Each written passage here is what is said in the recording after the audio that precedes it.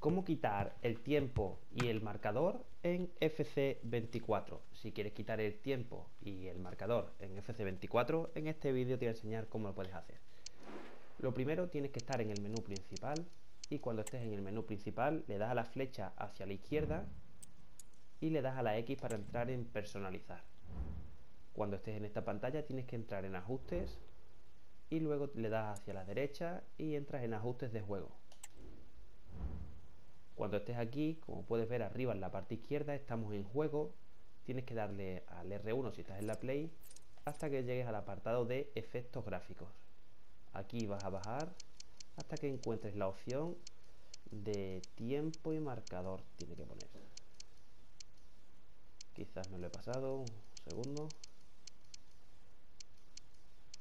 Aquí está, ¿vale? Mostrar tiempo y marcador. Esta. Simplemente ponemos desactivado si lo queremos quitar. En caso de que quisieras activarlo, pues sería lo contrario, lógicamente.